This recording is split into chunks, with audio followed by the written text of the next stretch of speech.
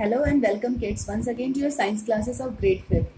And in this part of the video kids, I'm going to continue uh, the chapter number 6 that was about chapter number 6 that was about rocks and minerals in which we have already studied about the igneous type of rocks in the previous part of this video okay that igneous rocks are formed by cooling and hardening of the lava which comes out through volcano on the earth surface. And there are several examples like granite pumice obsidian and basalt and their uses. So the next type of rock which i'm going to explain today is sedimentary rocks and it is given in page number 50 of my science book.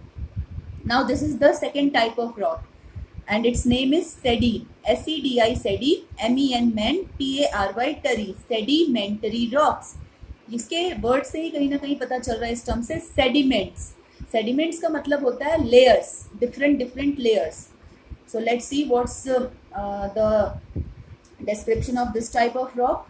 Water, wind, rain, and snow. Break away big rocks.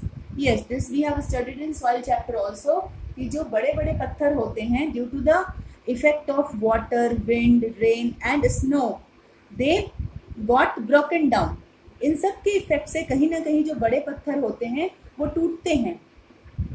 The rock particle so formed are carried away by wind and flowing water into rivers lakes and seas now when these big rocks when this big rocks they are being broken down by water wind rain and snow Okay, जब snow uh, मतलब जब पहाड़ों पे in the mountainous region there is land slides there is snow storm okay then due to that effect also बड़े बड़े पत्थर टूटते हैं। और ऐसे पत्थरों के टुकड़े बड़े पत्थर जब स्मॉल पार्टिकल्स में टूटते हैं और वो रॉक पार्टिकल्स जो इस तरीके से टूटे हुए रॉक पार्टिकल्स हैं वो बहा लिए जाते हैं। Carried away means take away बहा लिए जाते हैं by wind and flowing water हवा और बहते हुए पानी से फ्लड की वजह से कहाँ पर? इनटू रिवर्स नदियों में, झीलों में या समंदर में? Into rivers lakes and seas now these rocks these rock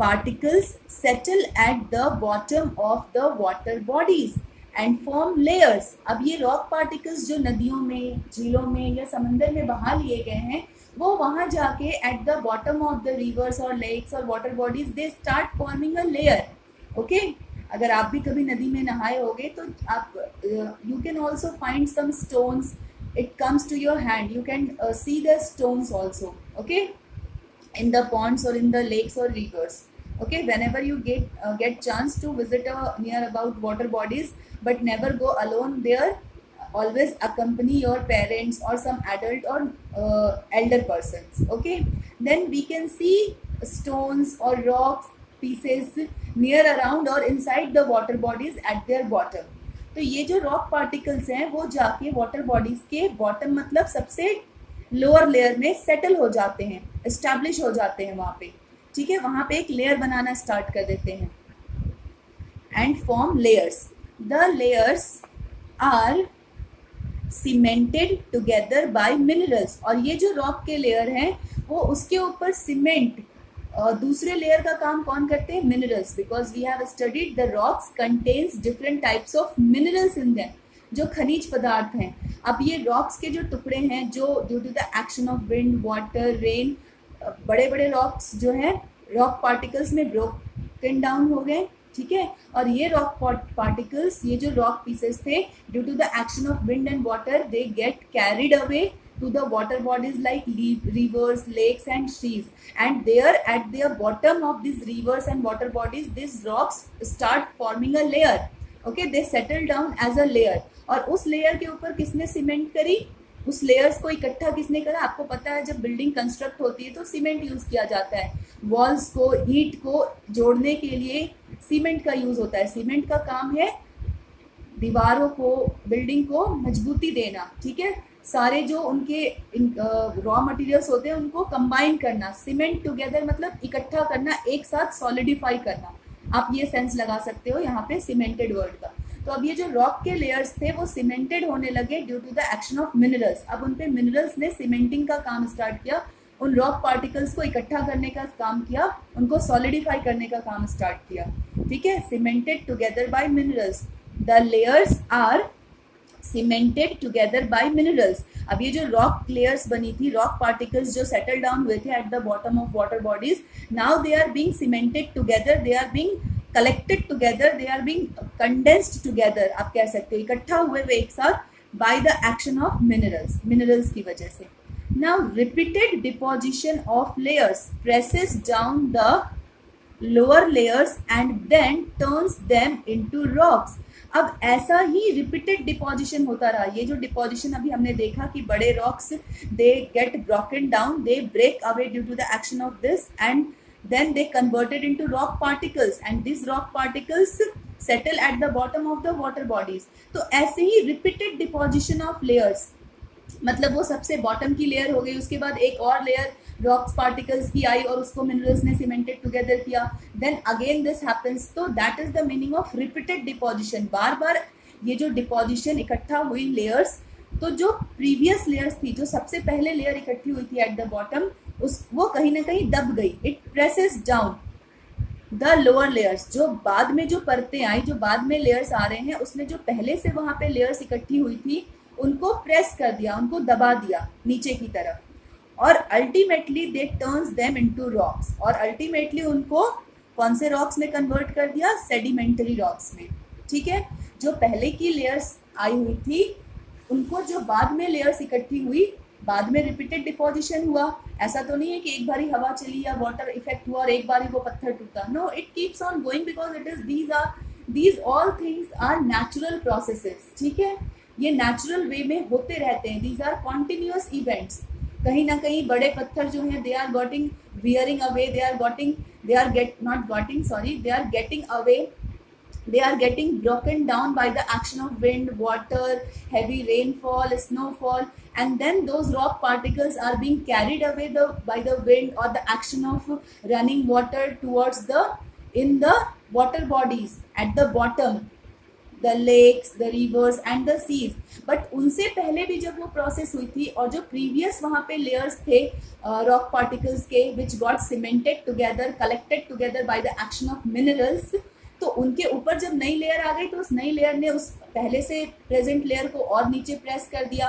फिर उस नई लेयर के ऊपर नेक्स्ट नई लेयर आ गई रॉक पार्टिकल्स की तो उसने उन दोनों प्रीवियस लेयर्स को प्रेस डाउन कर दिया और फर्दर डाउन सो मतलब this is a continuous process और ऐसा करते करते अल्टीमेटली वन टाइम कम्स जब वो रॉक्स में कन्वर्ट ये जो डिफरेंट रॉक पार्टिकल्स के लेयर्स इकट्ठे हो रहे थे now they are turned into rocks and such rocks are called sedimentary rocks और इसी टाइप के रॉक्स को हम सेडिमेंटरी रॉक्स कहते हैं अब आपको समझ में आया सेडिमेंट का मतलब होता है लेयर्स डिफरेंट डिफरेंट लेयर्स तो इसका नाम सेडिमेंट्री क्यों है क्योंकि repeated deposition of rock particle layers is there that's why Sedimentary rocks are also formed from the shells of sea creatures. C-R-E-A creatures. T-U-R-E-S. और जो सेडिमेंट्री रॉक्स है, वो शेल्स शेल्स होता है आउटर बॉडी कवरिंग जैसे कि आपने snail snail is a sea creature tortoise is a sea creature okay तो some of the sea creatures जिनके आउटर बॉडी कवरिंग होती है शेल्स होते हैं उनके, ठीक है? और वो शेल्स कैल्शियम कार्बोनेट मिनरल के बने होते हैं मोस्टली ठीक है? तो सेडिमेंट्री रॉक्स सी क्रिएचर्स के शेल्स की वजह से भी बनते हैं। Whenever the sea creatures are dying then their shells also contributes towards the formation of sedimentary rocks इनके शेल्स भी कहीं कहीं ना कहीं उन रॉक लेयर्स में सीमेंटेड हो जाते हैं। वो उनके अंदर ट्रैप्ड हो जाते हैं। ठीक है? सो Here it is written sedimentary rocks are also formed from the shells of sea creatures. Okay. Above, sorry, about 75% of the rocks found on the surface of the earth are sedimentary rocks. अब आप ये देख लो कि अर्थ का जो 75 percent हिस्सा है पत्थरों का it is found it is these are sedimentary rocks types earth का 75 परसेंट सेडिमेंट्री रॉक्स है okay now turn the next page that is page number 51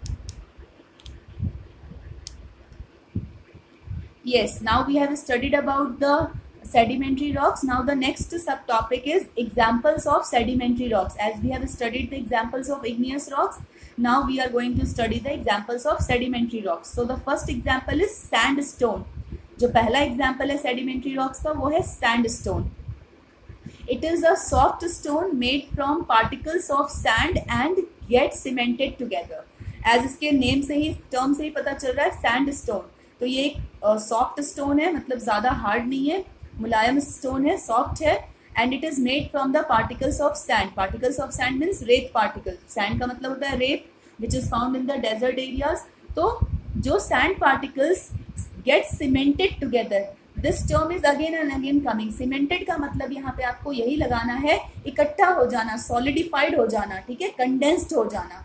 Fine to get cemented together जब सैंड पार्टिकल्स एक दूसरे के साथ इकट्ठे हो गए सीमेंटेड हो गए then they lead to the formation of sandstone the most common mineral found in sandstone is quartz अब सैंडस्टोन में जो सबसे कॉमन मिनरल सबसे ज़्यादा जो मिनरल फाउंड होता है the name of that mineral is quartz okay the name of that mineral is quartz it's see one thing is that I would like to tell you कि इस पूरे chapter में the types of the rocks ठीक है? उनका क्या description है? How the rocks have been form and what are their examples and within that example which is the important mineral found in that particular example of the rocks okay and what that type of rock is being use for these four और five things are very important that you have to keep on reading and keep on learning then only it will be uh, the concept or the things will be clear in your mind okay so you have to read the chapter again and again, again and again, then only the concept clarity and understanding will come properly. Fine. Okay. तो अब हमने पढ़ा कि जो sand stone है इसके जो सबसे कॉमन मिनरल इसमें पाया जाता है वो है quartz okay this rock is use in construction construction का मतलब होता है कहीं भी कोई बिल्डिंग बन रही हो, कोई मल्टीप्लेक्स बन रहा हो मतलब जहाँ पे भी कुछ निर्माण का काम हो रहा हो। That is called construction okay The Red Fort in Delhi and Agra Fort in Agra are made of red sandstone. अब आपको यहाँ पे एक एग्ज़ाम्पल भी दिया गया है ऐसे किसी कंस्ट्रक्शन एक ऐसे मॉन्यूमेंट का जो लाल किला है दिल्ली में और आगरा में जो आगरे का किला है। फोर्ट का मतलब होता है किले। ओके किला तो ये बनाए गए हैं रेड सैंडस्टोन से. Okay so these are the two forts which in which the construction the stone which has been use the name of that stone is red sand stone and it is one of the example of sedimentary rocks next rock is conglomerate C O N G L O conglomerate R A T rate conglomerate it is made from pebbles, gravel, and boulders cemented together by minerals and sand. Now pebbles pebbles का मतलब होता है a small stone made smooth by action of water और sand छोटे छोटे पत्थर जो मतलब बिल्कुल स्मूथ हो गए बिल्कुल तो नहीं कह सकते मतलब थोड़ा बहुत जो उनका टेक्सचर है स्मूथ है प्लेन है। जब आप उनको टच करोगे तो आपको रफनेस फील नहीं होगी, आपको स्मूथ टेक्सचर फील होगा। ओके जैसे आपको अपने बुक के इस पेज को टच करोगे तो it is having a smooth touch okay तो दोज आर स्मूथ स्टोन्स आप whenever you get a chance to visit near a river bank और sea beaches you can find different types of stones okay समंदर की लहरों की वजह से due to the action of the sea waves also stones come on the sea beaches okay? So in such cheezon ko when the situation get normalized and whenever there is a vacation you try to visit these places like near the sea beaches rivers or lakes along with your parents or some adult person. So that you can personally uh, find these rocks and see them personally experience that yes what is the smoothness of the rocks how they are appearing and different things okay? So yes about conglomerate I was telling की pebbles pebbles होते हैं small stone छोटे पत्थर जो smooth हो गए हैं by the action of water और सैंड रेत या पानी के एक्शन की वजह से जो स्मूद बन गए हो। ठीक है? और ग्रेवल का मतलब होता है स्मॉल पेबल्स और ग्रिट इन्हें हम ग्रिट भी बोलते हैं। सॉरी किड्स पेबल्स आपने समझ लिया, छोटे पत्थर। लेकिन ग्रेवल और छोटे पत्थर, छोटे छोटे मतलब छोटे छोटे जो पेबल्स होते हैं या जो ब्लैक कलर की ग्रिट होती है which is basically use in the road construction also okay तो that is known as gravel Hindi में हम जिसे बोलते हैं कंकड़ पत्थर ओके? तो जो conglomerate type of sedimentary rock है, ये पेबल से ग्रेवल से और boulders what are boulders boulders I also have written a large rock one that has been worn smooth by erosion boulders का मतलब होता है बड़े पत्थर, जो जिसको बार बार उस पर इफ़ेक्ट हुआ हो उस पर एक्शन हुआ हो विंड या वाटर का, और वो स्मूथ हो गया हो इरोजन की वजह से। ठीक है? इरोजन मीन्स किसी चीज़ का वियर हो जाना वियर अवे हो जाना कैरी अवे हो जाना मतलब आप एक सेंस लगा सकते हो, घिस जाना। ठीक है? इरोजन का यहाँ पे सेंस आएगा घिस जाना। तो बाउल्डर्स वो बड़े पत्थर हैं लार्ज रॉक्स हैं जो घिस गए हैं घिस घिस के स्मूथ हो गए हैं by erosion okay so in the conglomerate it is made from pebbles, gravel and boulders cemented together by minerals and sand. So सब इन तीनों चीज़ों को मिनरल्स और सैंड ने एक दूसरे के साथ इकट्ठा कर दिया ऐड कर दिया उनको कलेक्ट टुगेदर कर दिया ठीक है? कंडेंस्ड कर दिया सॉलिडिफाई कर दिया। It has a very uneven texture and is used in construction और इसको जब हम टच करेंगे इस रॉक को कॉन्ग्लोमिरेट को तो बड़ा ही अन अनइवन टेक्सचर होगा। Uneven means not smooth little bit rough texture होगा इसका। और इसे भी कंस्ट्रक्शन पर्पज के लिए यूज़ किया जाता है, निर्माण कार्य में इसका यूज़ होता है। ठीक है? टेक्सचर मीन्स होता है बेटा किसी चीज़ की अपियरेंस या touch next type of next example is shale S H A L E shale it is made from clay particle cemented together अब शेल क्या है? तो ये क्ले पार्टिकल्स से बना है, ठीक है? Clay particles there is there are clay soil and clay particles और clay soil which is made up of clay particles. It is being used in the pottery making, okay? In the in the making of kacha houses also. Fine. So, जो shale है, ये clay particles जब clay particles cemented together हो जाते हैं, एक साथ इकट्ठे हो जाते हैं then they form the shale rock okay it is use to make bricks and tiles घरों में भी आपके टाइल्स ज़रूर लगी होगी in the kitchen area in the washroom area okay और जो ब्रिक्स मतलब ईट। कभी आपने बिल्डिंग कंस्ट्रक्ट होते हुए आसपास देखा होगा तो वहाँ पे रेड कलर के जो ब्रिक्स यूज़ होते हैं, उसे हम हिंदी में ईट बोलते हैं। तो शेल जो है, वो क्ले पार्टिकल से बना है, जिन, इकट्ठा करके, उन्हें सीमेंटेड टुगेदर करके, और इसको ब्रिक्स और टाइल्स बनाने के लिए शेल को यूज़ किया जाता है शेल रॉक को। Next is limestone L I M E lime S T O N stone limestone it contains the mineral calcium and shells of यहाँ पे शेल्स अलग है। This shale is different S H A L E okay its spelling is also different and here it is s h e double s shells का मतलब होता है outer body covering outer hard body covering okay तो यहाँ पे shells का मतलब हुआ outer hard body covering of sea creatures okay तो जो लाइम स्टोन है ये कौन से मिनरल से मिलके बना है it is having it is containing the mineral and the name of those minerals are calcium and shells of sea creatures okay जो सी क्रिएचर्स है, उनके जो आउटर बॉडी कवरिंग है after the death of this sea creatures when their outer body which is made up of especially the mineral that is calcium carbonate. Okay? तो उन सब के सीमेंटिफिकेशन उन सब के सॉलिडिफिकेशन होने की वजह से लाइमस्टोन बनी है. It is used to make cement lime cement you all know you must have seen the gray colored cement which is being used large on a large scale during the construction of a building and then lime lime होता है चूना जिससे white wash होती है घर पे ठीक है that is the lime then glass and bricks chalk is a form of limestone chalk तो आप सबने स्कूल में देखा होगा okay so chalk is another example it is also a form of it is also a type of limestone ठीक है तो जो चौक आप देखते हो, वो भी एक तरह का एक फॉर्म है लाइनस्टोन का। So here in the picture you can see the conglomerate rock shale rock okay and limestone rock so these are the sedimentary rocks now what is given in the let's know more section traces of animals और plants found in sedimentary rocks are called fossils this is a very important term कई बार बेटा what happens कि ये जो rock formation process है, जो ये कॉन्टिन्यूइंग प्रोसेस है collection of bearing away of the rocks big rocks into smaller particles of rocks और little bit big pieces of rocks और जब उनका carried away through wind and water into the river और water bodies और seas ठीक है?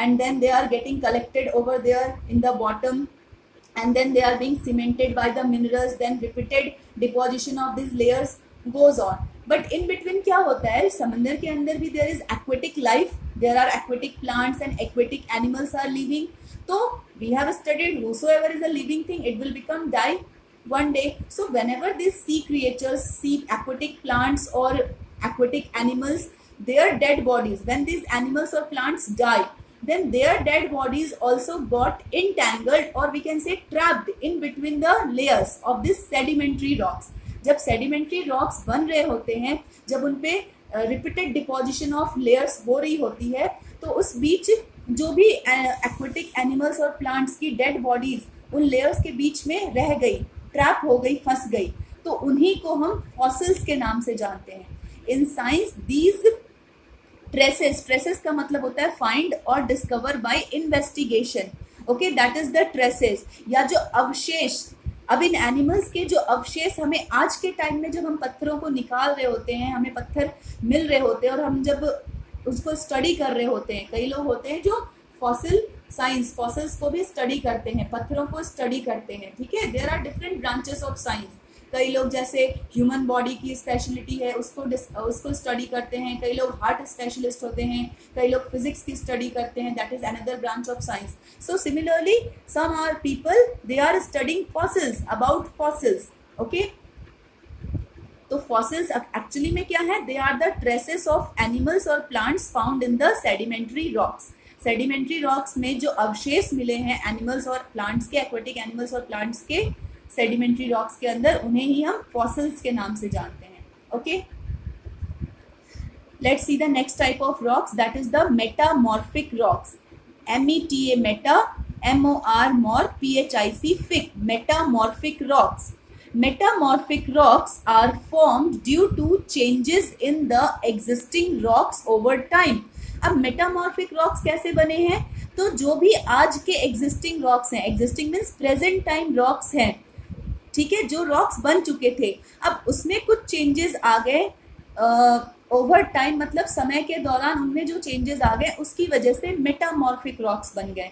They can be formed from sedimentary और igneous rocks due to high temperature and pressure yes आप ये कह सकते हो कि जो मेटामॉर्फिक रॉक्स है, वो कहीं ना कहीं सेडिमेंट्री या इग्नियस रॉक्स पे जब बहुत ज़्यादा टेम्परेचर और प्रेशर बहुत ज़्यादा तापमान बढ़ गया या बहुत ज़्यादा दबाव बढ़ गया उन रॉक्स पे तो they get converted the sedimentary और igneous rocks ultimately get converted into metamorphic rocks I can say that और we can say this thing कि कहीं ना कहीं जो मेटामॉर्फिक रॉक्स है, उनका ओरिजिन सेडिमेंट्री और इग्नियस रॉक्स की वजह से हुआ है. व्हेन दिस सेडिमेंट्री और igneous rocks have faced the action of high temperature and pressure okay now let's see some examples of metamorphic rocks so the first example is marble आप में से बहुतों के घरों में जो फ्लोर है, जो फर्श है, वो मार्बल की होगी. ठीक है? संगमरमर जिसे हिंदी में कहते हैं.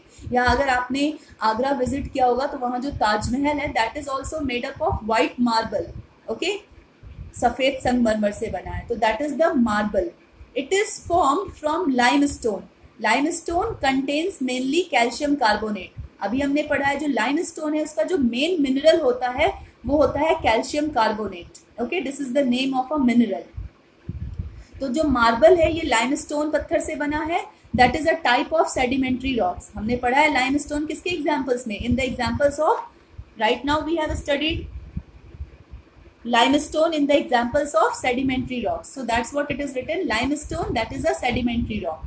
It is used for making statues, floors and slabs statues means मूर्त जो मूर्तियाँ होती है उनको बनाने के काम आती है मार्बल जो फर्श होती है फ्लोर्स मीन्स फर्श. और स्लैब्स मतलब किचन पे जो स्लैब्स होते हैं ठीक है? जिसपे आप अपने गैस स्टोव या अदर थिंग्स जो किचन का स्लैब एरिया होता है उसको बनाने में मार्बल का बहुत ज़्यादा यूज़ होता है।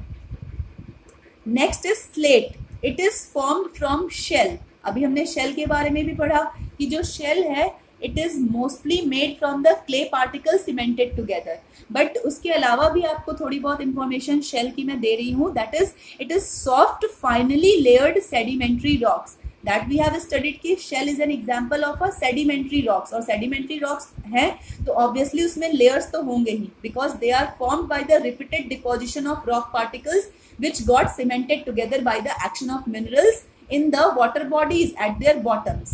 Okay? Uh, sedimentary rock that formed from solid mud or clay.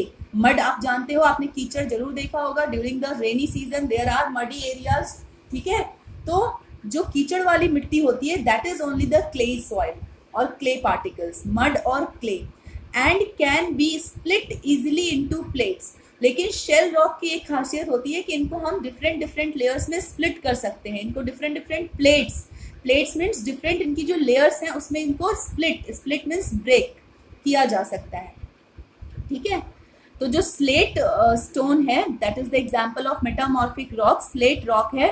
It is form from shale which is again a sedimentary rock both shale and slate can split into turn the page and open page number 52 of your science book.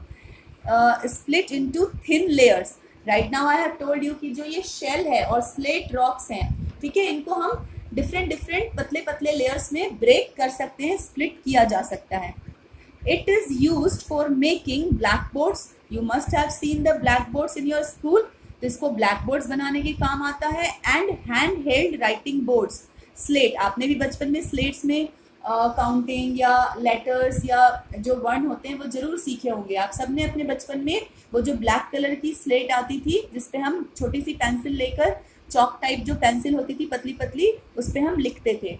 ठीक है? तो ये जो shale rock है, जो slate rock है, इसका नाम ही है slate okay and it is form from the shale that is a sedimentary rock और इन दोनों ही टाइप्स ऑफ़ रॉक्स को थिन लेयर्स में डिफरेंट लेयर्स में स्प्लिट किया जा सकता है। और इन दोनों ही पत्थरों का यूज़ किस चीज़ में हो रहा है? To make black boards and hand held writing boards black boards तो दीवारों पे टंगी होती है। स्कूल में जो वॉल्स होते हैं, उस पर ये ब्लैक बोर्ड्स हैंगिंग होते हैं। या इनके वुडन स्टैंड आते हैं, ठीक है? ब्लैक बोर्ड्स मतलब बड़े बड़े बोर्ड्स हो गए, ठीक है? And hand held writing boards मतलब जो आप हाथ में छोटा सा स्लेट पकड़कर उस पर काम कर सको। That is the hand held writing boards जिन्हें हम कॉमन लैंग्वेज में सिर्फ़ स्लेट्स कहते हैं। Okay? Next type of example of metamorphic rocks is gneiss यहाँ पे जी साइलेंट रहेगा okay we will not pronounce it gneiss no G is silent it is called gneiss N E I double S gneiss N E knee I double S इस gneiss it is form from granite okay अब ये granite पत्थरों से बना है. It has light and dark bands और इसमें हमें हल्के और गहरे कलर के बैंड्स बैंड्स मतलब पतले पतले स्ट्रिप्स दिखेंगे। It is use in construction और इसे भी कंस्ट्रक्शन पर्पस में यूज़ किया जाता है निस रॉक को।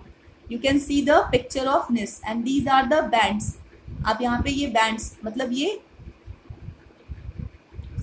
this is the use okay sorry this is the use of this rock कि हम इसे कहाँ पे यूज़ कर रहे हैं? कंस्ट्रक्शन के लिए जब इसे यूज़ किया जाता है तो it is being cutted and turn into this type of shape but आप यहाँ पे इसमें बैंड्स लाइक स्ट्रक्चर दिखते हैं, कहीं ब्लैक कहीं वाइट कहीं ब्लैक कहीं white okay somewhere it is black okay this thin black lines and somewhere it is white so it has light and dark bands okay कहीं आपको डार्क दिख रही है, कहीं आपको लाइट दिख रही है.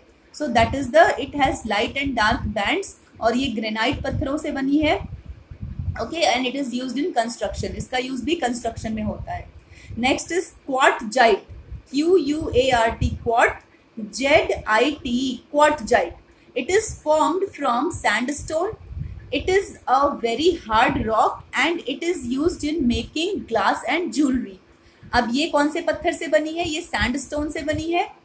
और ये बहुत ही ज़्यादा हार्ड रॉक है and it is use in making glass and jewellery और इसका यूज़ ज़्यादातर ग्लास इंडस्ट्री जो शीशे की, शीशे का काम होता है, शीशा बनाने के काम होता है, उसमें इसे यूज़ किया जाता है और jewellery jewellery you all know जेवर वगैरह बनाने के काम होता है, ठीक है? So in the file picture you can see the picture of marble marble is use to make tiles और floor slate slate is use to make slate type of rocks is used to make either blackboard or handheld slate.